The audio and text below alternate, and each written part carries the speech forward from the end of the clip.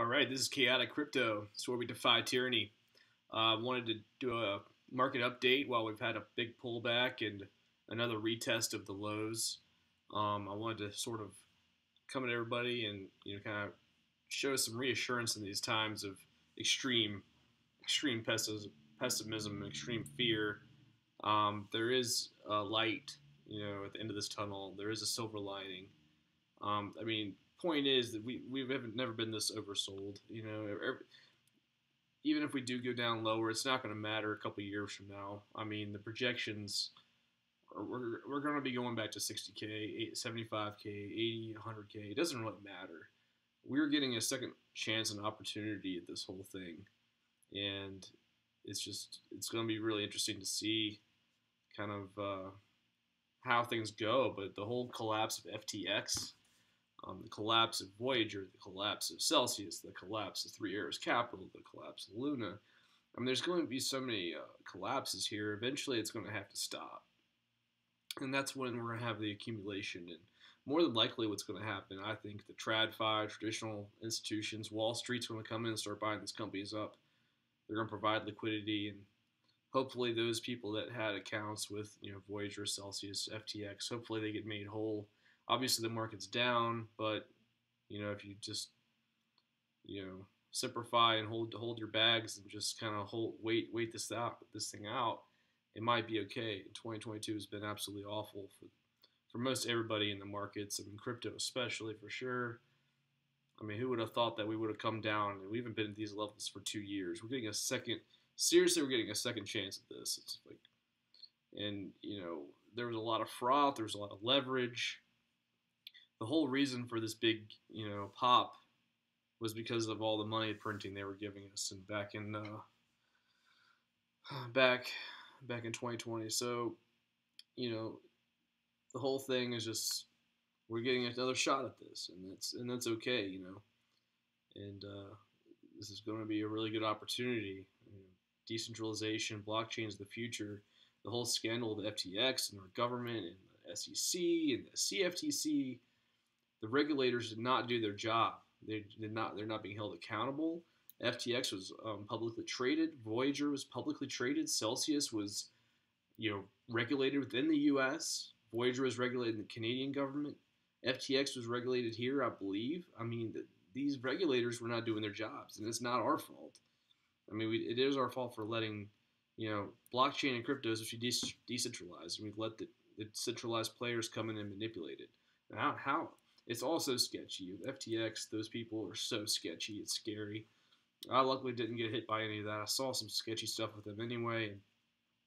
And, you know, in a bull market, just towards the end of a bear bull market, like you're hearing about new coins that all of a sudden are going a thousand x, and new companies are just showing up out of nowhere.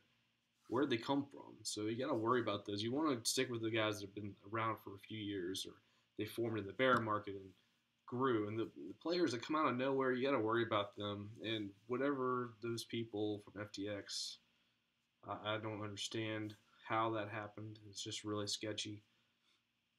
And the, the big, uh, you know, crypto, I guess the big venture capitalists like the Kevin O'Leary's and those people, there's something very sketchy. But apart from that, we've been given an opportunity to get into crypto, get into blockchain, and you know, pick the players, pick the projects that are going to help us. I mean, my big one's Cardano. I mean, I think they're doing great, and they're actually working on voting technology to be, and they're going to be using some. There's some uh, countries in Africa that are going to start adopting some of their voting blockchain technology they're working on as a test, and we absolutely need that for obvious reasons. So, I mean, we, blockchain is the way for data transparency. It will clear up the clutter and the lies and the mess and just everything will be a little bit more real. and I think that's something we sorely needed. The internet, you know, brought us a lot of things, but also brought us a lot of manipulation. We don't know who's real, what's real. Someone said this, someone said that. What is this person commenting on my stuff? Are they even real? Are they a bot? Blockchain will fix a lot of these things eventually, and it will fix a lot of I mean, just co- contracts like uh, birth certificates, zero um, zero knowledge roll ups and uh, proof of identity, but without you know a decentralized proof of identity without your identity being actually becoming publicly known. You can be verified through the blockchain. So there's, there's a lot of cool use cases, and I think that right now is a good time to really rebuild. We probably have a year or two to really figure out which projects are going to work, which ones are not. Again, I mean, Bitcoin is probably the safest one of them all. Ethereum, Ethereum, I'm starting to really wonder about personally. I, you know, the, the centralization, proof of stake is a big worry for me. But Cardano and ADA, I, I, love that. I, I love Cardano. Uh, Link, anything with a use case, real utility. So it's going to be interesting to see where things kind of roll. But I, I really think we've we've hit a bottom. We're just kind of, uh, you know, we're in, we're in this consolidation. I mean, once this weekly cycles, you know, this is the week, um, yeah, the weekly stochastic RSI. Once that's fully recharged, I think we're to go off to the races personally, but we'll see. Let's check out the smaller uh, time frames. And also wanted to check, let's see. Yeah, so the shorts, uh, the people that are betting on the market going down have never been this intense. Um, we had a huge volume spike in the shorts, and I believe it's three to one.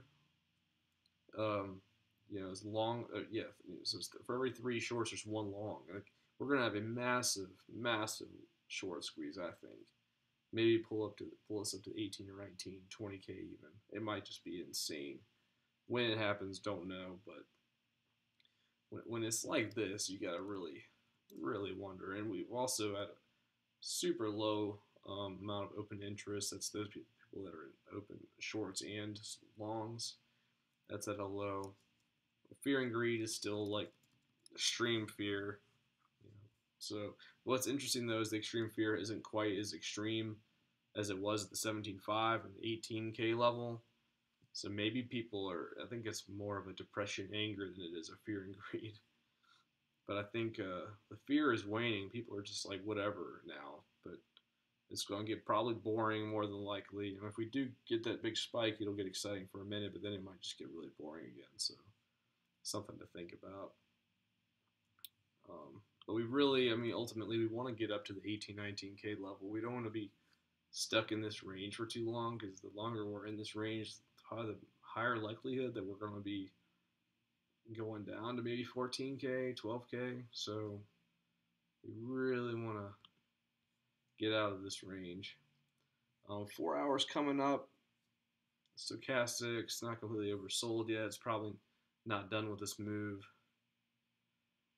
yeah, so I think uh, what's good is that we rejected from this M pattern. Usually, when you make a big M pattern, you fall down. We did not do that, and if we can get some, get a little more momentum up, and if we can get up and close above the 16.5, 16.8 level, use that as support, then go back up, that'd be the most ideal situation. Again, we don't know know yet what is going to happen, so. It's just, we're just going to run through some of these indicators. All right, stochastic daily RSI is starting to rise up. That's actually a really good sign. That's a really good sign. And we also had the largest volume spike on the weekly in the Coinbase chart we've ever had. And that always indicates some kind of reversal.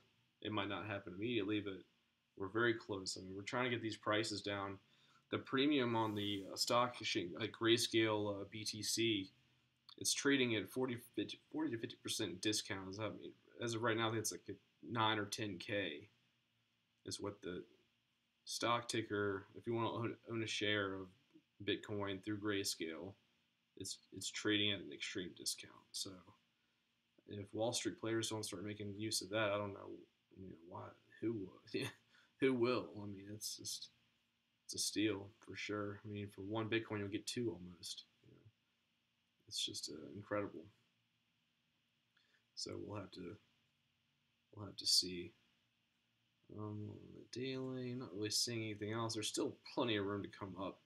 Nothing's oversold. Nothing is really you know, worrying me on the indicators. Let's look on the hourly.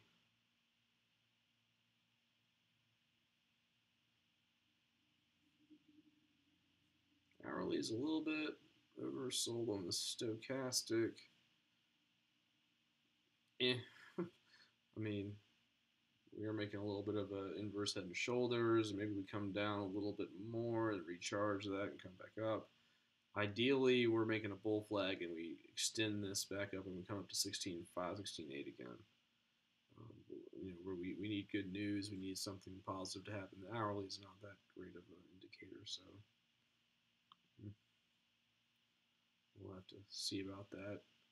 Um, but yeah, really just you just need to hang in here because these are the these are the times that kind of really define, you know, the men from the boys, you know, the girls from the women type of thing. So like, you know, when I got in the markets, I got in 2017. I saw the whole bull market, and it went crazy. And then I saw it come down, and I was just buying that whole time. And then when it really came, came down to 3,000, the 3,000 level, um, I'll show it. Actually let me retract this.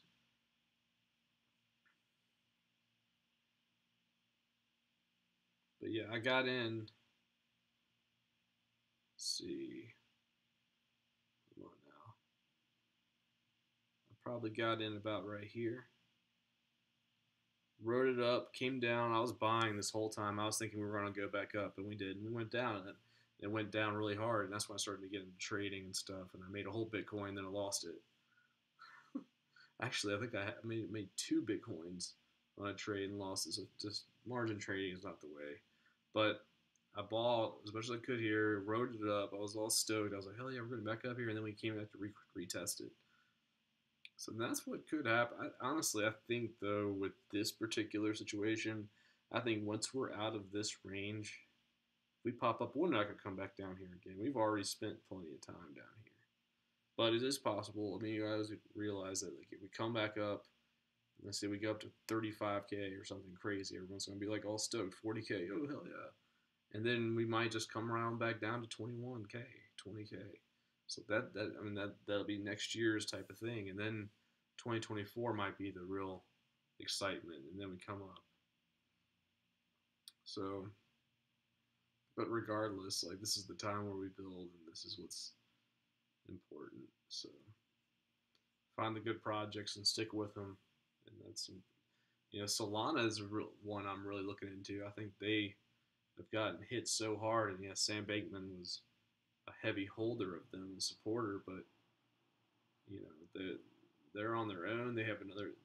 They're not reliant on him. So like, getting into Solana now it could be like getting into Ethereum next cycle. Solana might hit thousand dollars, two thousand dollars next cycle. So I mean, just ex- extrapolate that. so we'll see. I think Cardano is my big player, and then some of the other ones like Zilliqa, you know, Ontology. There's there's a bunch of ones. It's going to be really interesting to see what what survives. Litecoin apparently has a lot of good moves, good yeah, good news, and possibly good moves coming ahead. Dot's a little bit concerning. Link is going to be major use case. Just got to hold on to that one. But uh, I'll start doing more videos here uh, daily if I can. Um, I do have a job, so I have to focus on that. So we'll see how it all goes, but huddle on, stay strong. It'll it'll be all right. You know, it doesn't matter if we go down further. More than likely, this is going to be it. So, peace.